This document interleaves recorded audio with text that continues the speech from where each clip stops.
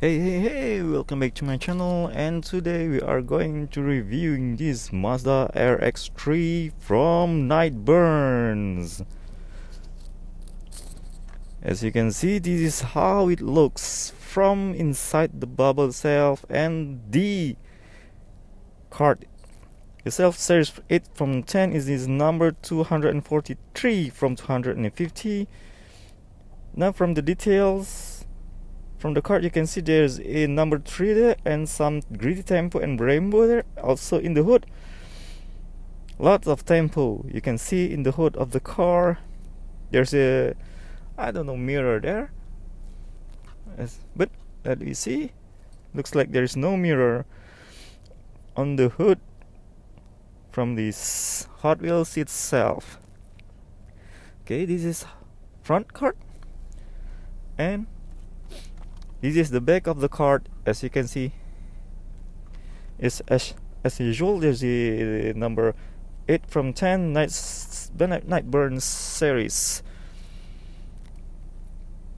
Now let us open it from its bubble.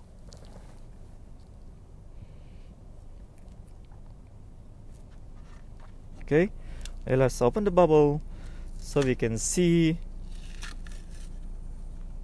the Mazda RX-3 itself. Now this is the detail from the card and this is the detail the car itself out of the bubble. Okay. Oops sorry.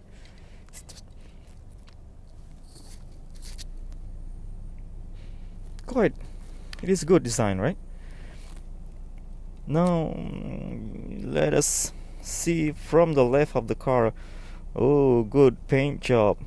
The green with is some shiny gold I think yeah. Yes there's a lot of detail there. Also there's there's a sign there details with some fender on upside upside fender up from the wheels there's a lot of tampo there on the door. Yes and the rims are also good. Mm-hmm. Nice paint job. Nice accent on the tires too. And the front section as you can see there's a four headlights grills and it should be a logo there. And also the bumper itself there's a detail some detail on the bumper and from the hood you can see there's a train number Brembo Hot Wheels and Greddy Tampo. And from the right side as same as the left side of the car itself. And from the rear sections you can see there's there's a taillight detail there and some spoiler and oh not some spoiler but also have a spoiler there. Also in green. Nice detail on the glass. Yeah the paint job is great. It's a green with a shining gold maybe? Yeah see? I think it's a green metallic eh? okay. And as and from the base there's not going not a lot of going on on the base but in the middle of the base there's no detail but in front and the rear tires got some detail there.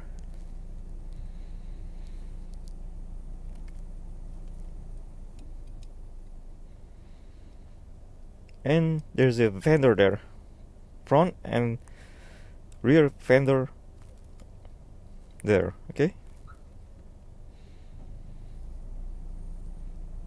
now let us put it there so we can see the car itself 360 degrees for every angle of the car.